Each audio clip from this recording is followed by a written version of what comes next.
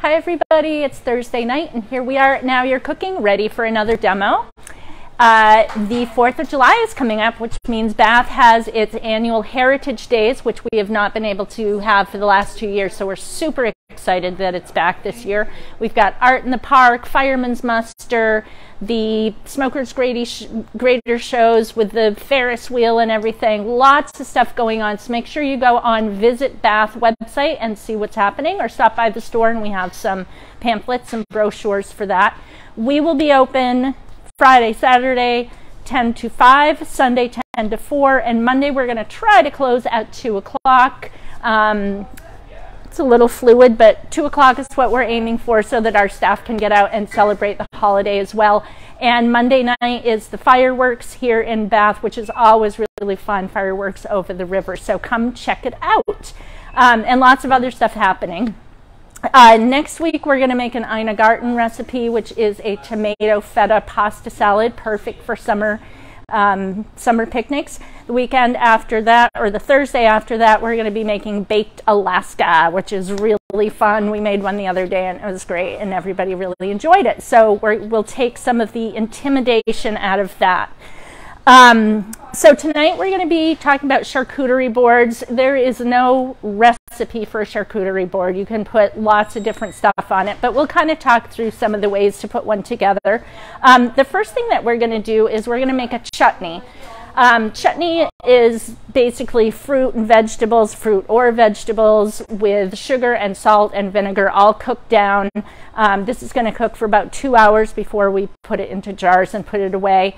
Um, so we'll just get it started tonight and then we'll probably finish it off tomorrow, take some pictures and um, maybe some video and share that with you tomorrow when it's all ready to go.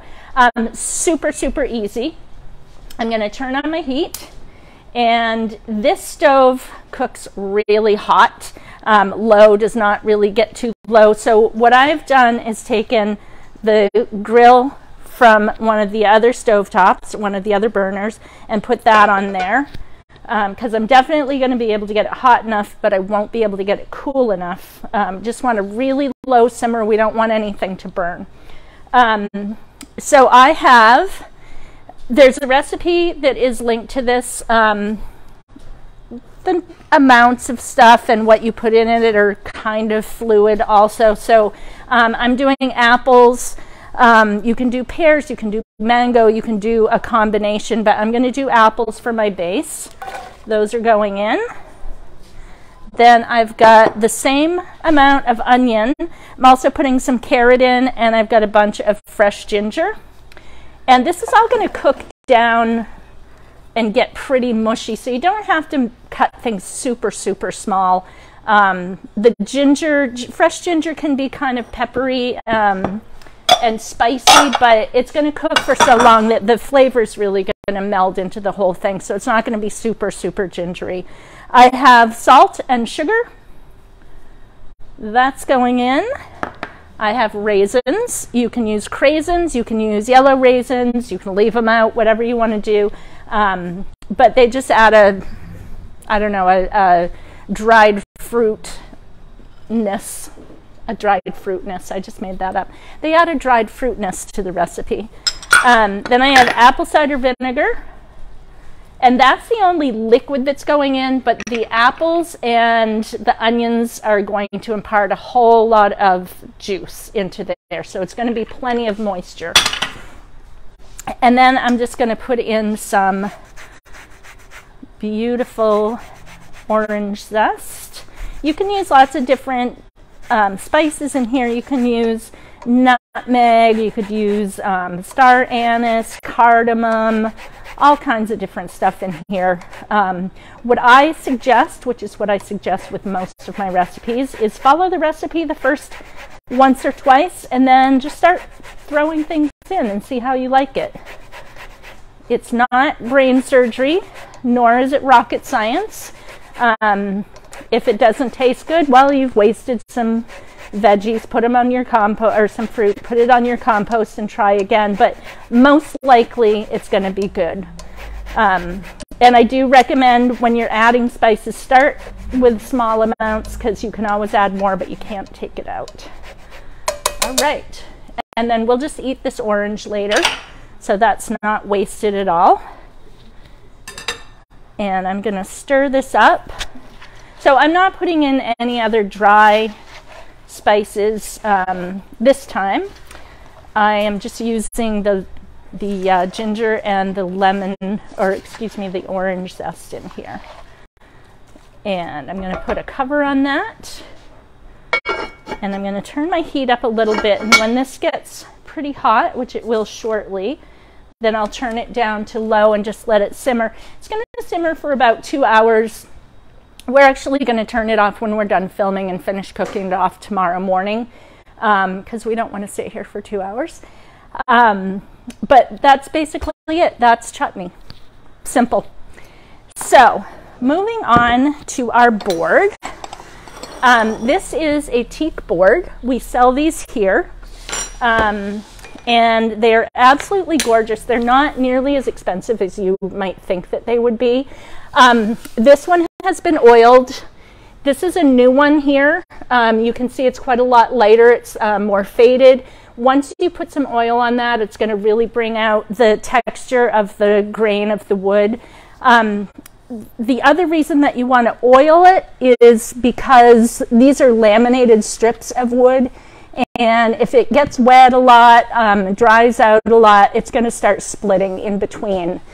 Um, so the oil just helps keep it naturally moist. Um, you want to make sure that you get a food safe mineral oil for it. And that is all about the boards. You can use either side. Um, and they're gorgeous. We have quite a number of different sizes and shapes here. Um, they're really very beautiful. We'll probably post a picture of them when we're done. Um, and highly recommend those. They're gorgeous. All right, so charcuterie is a French term which basically means a pork butcher. Um, selling pork meat, sausages, all of that type of thing. Um, recently, in the last couple of years, we've started using it in this country to refer to a board full of really yummy stuff, including in most cases something porky like some salami or something. But it also has, you know, it can have fruit and um, dried fruit and nuts and crackers and cheese and everything on it. so that's what we're going to go with today. Um, I have a couple of cheeses and some meat and we'll just start talking about, first of all, number of items. Of course, it depends partly on how big your board is, um, but generally in the art world, you want to use a an odd number of things. Um, so I have three cheeses here. I'm just going to put them out. This is a Stilton, a blue Stilton. Um, and what I'm going to do as I put them on, you'll see I'm going to kind of do meat and dip and cheese and kind of not everything all together in, of its ilk. It's all going to kind of be mixed in together. So we have a Stilton there. I'm going to start with that. Then I have some uh, Manchego cheese. And Heather yesterday went down the TikTok um, rabbit hole of putting together charcuterie boards. And this was a technique that she saw that we thought was really cool. Um, it allows people to take a piece of cheese easily um, without getting their fingers all over everything. And it looks kind of nice. You want to add, you know, kind of textures and different shapes and stuff just to keep it visually interesting. So we've got that there. And then I have a goat cheese. And I'll put the goat cheese over here. I unpacked these all ahead of time so they'd be a little bit easier and not as messy for me to undo. Um, so I also have membrillo, which is quince paste. Quince is, uh, I believe it's from the rose family, but it's very similar to an apple or a pear, but very tart. Um, and membrillo is a Spanish concoction. It's called quince paste in English. And it can be eaten you can spread it on toast or um, you know eat it with anything it's particularly good with cheese it's so you get that kind of sweet savory combination so we're just going to slice this into relatively thin slices And because it's Spanish and I have the Spanish cheese, the manchego, I'm going to put this next to that. Does not have to be eaten with it. It's fantastic with either the goat cheese or the Stilton as well. Stilton is a British English um, blue cheese. So I'm going to put that, I'm actually, I'm going to put it over here. It's not truly a science, but you want to keep in mind what else you have going on the board and where everything's going to be. I'm going to try to put the crackers around the edge. Um, just grab a paper towel. Sorry, Heather, I'm dragging you around. Um, so we've got those items there. I have a salami that I sliced, and I'm going to put that over here, I think. And Where we're just going to. Where can I get all of this stuff? What a great question. Um, there's this little kitchen store I know in Bath that has a great cheese case, um, and that would be us here at Now You're Cooking. We have the we have all of these items here. Um, we have everything I'm using here tonight except the chutney, which we're making, the grapes, which we get down at the grocery store, um, and these guys, my favorite online snack place. I have Marcona, Spanish Marcona olives, olives, Spanish Marcona almonds, and dried cherries, um, which I'm going to pop on there. And those come from nuts.com. All right, so lastly for this these things, I have prosciutto, which I also got here at Now You're Cooking. And I cut the slices into three and then just rolled them up.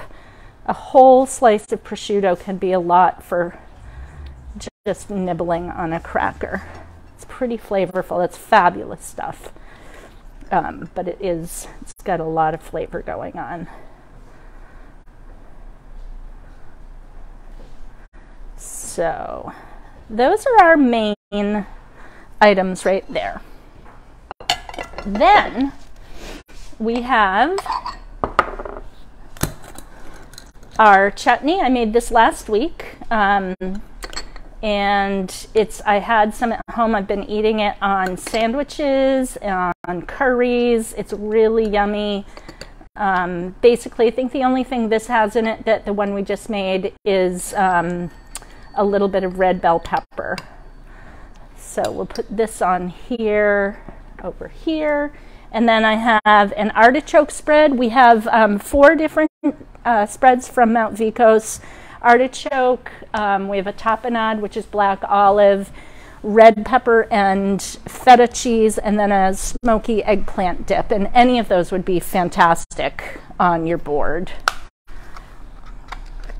So we'll put this in a little dish. And these little dishes, um, these are from Emile Henry. We actually don't carry these anymore.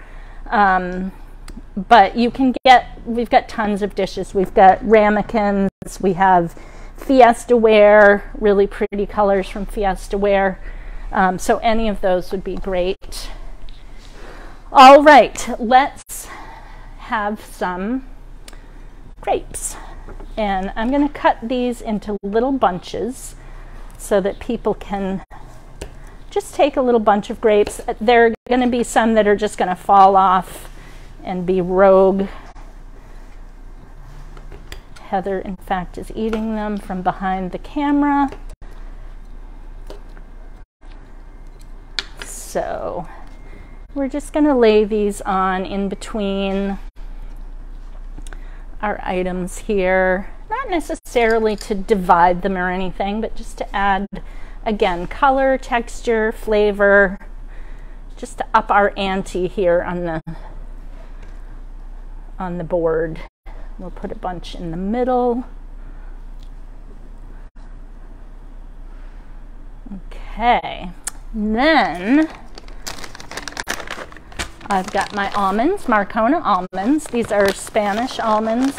They're a little different from the ones that we get in this country. Um, and I'm just to kind of spread these around so people can pick them up and nibble on them. But they don't have any place where they have to be. So we'll just add those around. We like to have them over in our Spanish section since they are Spanish. And then I have some dried cherries. You can use dried apricots. You can use other fresh fruit, fresh berries. Right now, the strawberries are amazing. Um, the fresh Maine blueberries are always good. Some of those with the goat cheese, because goat cheese and dried fruit is fabulous. So this part is not, you know, it's like, like I said, it's not scientific. I'm just kind of filling in the spaces giving people some ideas of what they can eat, how they can eat stuff.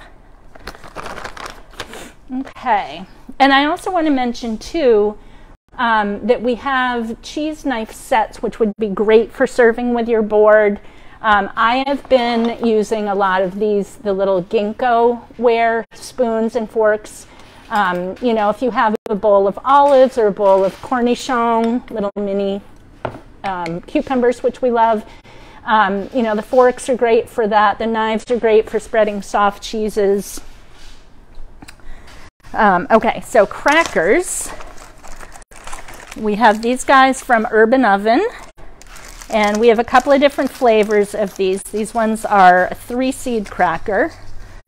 So I'm going to put these, I have three different kinds of crackers. So I'm going to put these in three different places around the board. See if I can remember what direction they're going. And if you have too much stuff, you can always put your crackers onto a different, um, a different plate or a different board or whatever. They don't all have to go together. These are one of my favorite crackers. These are charcoal crackers. They are they're really buttery and delicious. They're they come from England and they're made with a vegetable um, a vegetable charcoal. They don't taste like charcoal. They don't taste like they're fresh out of the grill or anything. Um, but they're just, they're fun and they're different looking. And that's one of the things that you want when you're building a board. You want it to be kind of exciting and interesting. Let's just check on our chutney and see what's happening over here because it's steaming. So that looks great. So Look at all the liquid that's in there. So that was with about three quarters of a cup of, um, of the vinegar, but all of this juice is coming out of the fruits and vegetables that are in there. So I'm turning this down to low, low, low, low. And that's going to go for about 90 minutes to 120 minutes. So an hour and a half to two hours. It can go a little longer if it's got a lot of moisture in it. Um, just keep an eye on it so that it doesn't boil down and start uh, burning. Um, and like I said, we'll finish that off in the morning. So we'll show you what that looks like when we're when we're done with it and ready to jar it up. And we'll show you how to do that too. It's pretty easy. So more charcoal crackers here and some charcoal crackers over here. And then I have these little toasts. Um, I didn't put any pate on here, um, but pate is also a really good one. We have a really delicious duck pate or a duck mousse with, um, it has port in it and it is fabulous. And that's another really good thing to have on there. Um, and I think of that because these are from the company that makes the pates that we carry. Les Trois Cochons, Three Little Pigs. I'll say it in English rather than wreck, wreck my French. So we'll put some of these. And again, I'm just putting these around so that you can reach all of the different crackers from anywhere on the board. And you can use different crackers. You can use bread. You can use, you know, all kinds of different things on here. Um, so that looks like a feast to me. I'm going to bring it right up close. Um, and Heather's eating. Heather's hungry. She's nibbling. Um, so you can see we have salami, we've got prosciutto, we've got some cheeses, we've got some fruit stuff going on. There's plenty of crackers for everybody. you can always have backup crackers in case you need them. Um, what do you want to drink with this? Um, red, white, bubbly, rosé, whatever you want, because it's such a mixture of different flavors and textures that any kind of wine will go with this. Um, what I would love to talk about is sherry. Um, we have a manzanilla, an amontillado, and an oloroso. Um, I can tell you what little bit that I know. Manzanilla is one of my favorites. Um, this comes from a specific town in the province of um, Jerez, which is where all sherry comes from. This is from Sanlúcar de Barrameda. Um, and it's really hard to find anywhere outside of Andalusia. Like they don't just have it all over the place in Madrid and Barcelona and so on. Some places will have it, of course, but um, very nutty. Well, I think all of them are. Sherry in general tends to be pretty nutty. Um, crazy. No, just nutty flavored. um, it makes you nutty. Um, the Manzanilla is pretty light, um, very dry. It's my absolute favorite sherry. Um, Amontillado, I always think of Edgar Allan Poe and the cask of Amontillado. Um, also nutty, dry. Um, and then the Oloroso, uh, we're going to do some studying and we'll tell you more about the differences between them. I have learned it before, I just don't remember. Um, if you remember our live from Spain, um, my friend Luis gave me a whole tutorial on, um, on sherries, but of course that was too long ago and I don't remember everything. Um, but anyway, so charcuterie boards are awesome. You, you know, serve it as dinner with a big salad or something that has some sort of healthy, redeeming um, uh, nutrients. You're getting some fruit in here and some nuts, so it's probably okay. Calcium, it's all kinds of good things to be said for it. But, um, you know, great to start a party, great to just have out for nibbles if you have people coming over. Um, sit down with your friends and have this as your dinner with a side salad or something like that. Um, just absolutely, they're beautiful um, and they make you want to eat from them because there's so much going on and so many different things to try.